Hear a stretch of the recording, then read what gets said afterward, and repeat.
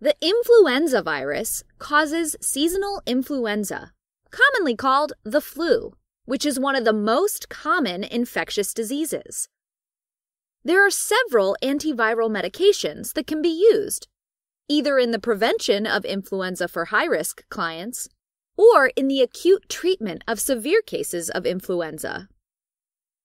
All right, so the most commonly used antivirals for influenza include neuraminidase inhibitors, such as oseltamivir, peramivir, and zanamivir, as well as endonuclease inhibitors, like baloxavir marboxil. Also, there are additional antivirals that are currently not recommended, including adamantanes, such as amantadine and rimantadine. Most of these antivirals are taken orally, except for peramivir, which is given intravenously, and zanamivir, which comes in a powder form that is inhaled by mouth. Once administered, each class of antiviral act through a different mechanism of action. Neuraminidase inhibitors, as their name implies, bind and inhibit the viral enzyme neuraminidase, thereby preventing the release of new viruses. Endonuclease inhibitors, on the other hand, inhibit, you guessed it, a viral enzyme called endonuclease, ultimately stopping the transcription of viral RNA.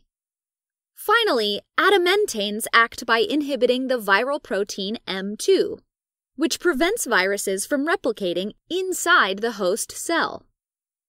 Ultimately, all of these antivirals help stop viral replication and the release of new influenza viruses. However, these medications also come with side effects. Luckily, these are usually mild, and they mainly refer to gastrointestinal disturbances, such as nausea, vomiting, stomach pain, and diarrhea. Less commonly, Antiviral medications for influenza can cause neuropsychiatric symptoms, such as delirium, delusions, and hallucinations. In addition, some clients can develop serious hypersensitivity reactions, such as Stevens Johnson syndrome, toxic epidermal necrolysis, and erythema multiforme. Finally, clients taking zanamivir can present with bronchospasms. Now, antivirals for influenza should be used with caution during pregnancy and breastfeeding, as well as with infants, children, and elderly clients, as well as in clients with underlying respiratory disease, such as asthma or chronic obstructive pulmonary disease. Additional precautions should be taken in clients with severe renal or hepatic disease.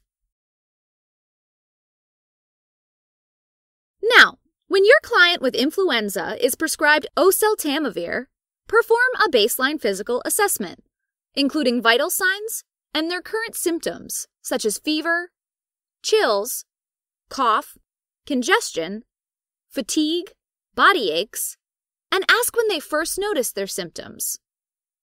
Lastly, check your client's laboratory test results, such as rapid antigen testing or reverse transcription polymerase chain reaction, or RT PCR for short. Moving on to client education, explain that the medication helps reduce the severity and duration of influenza symptoms by stopping the spread of the virus in their body. Let them know that the medication doesn't prevent the spread of the virus to others, so they should follow infection prevention guidelines, like frequent hand hygiene, practicing cough etiquette, and staying home from work, school, or crowded environments. Encourage your client to get plenty of rest and fluids to promote their recovery. Then, instruct your client to take their medication twice daily, with or without food, for a total of five days and emphasize the importance of taking their first dose as soon as possible, since it's most effective if started within 48 hours of symptom onset.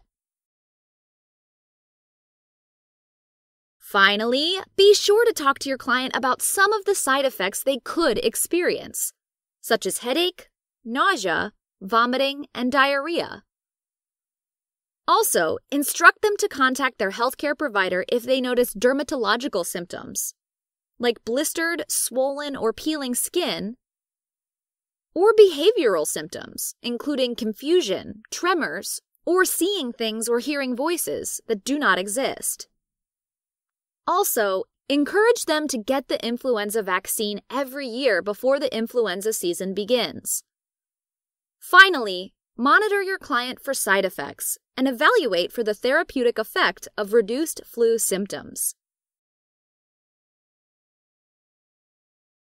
All right, as a quick recap, the influenza virus causes seasonal influenza, or the flu, which is one of the most common infectious diseases. There are several antiviral medications that can be used to either prevent or treat influenza, including neuraminidase inhibitors such as oseltamivir, peramivir, and zanamivir, as well as endonuclease inhibitors like baloxavir marboxil. These medications work by inhibiting different viral enzymes required for replication.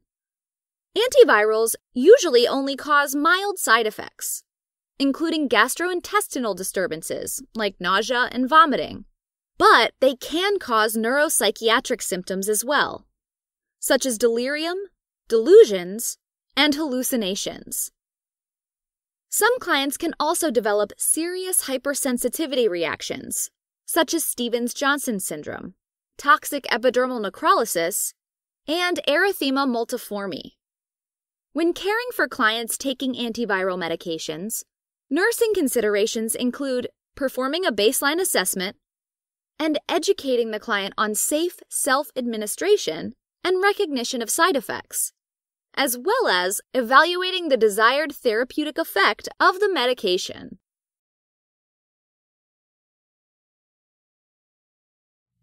helping current and future clinicians focus, learn, retain, and thrive. Learn more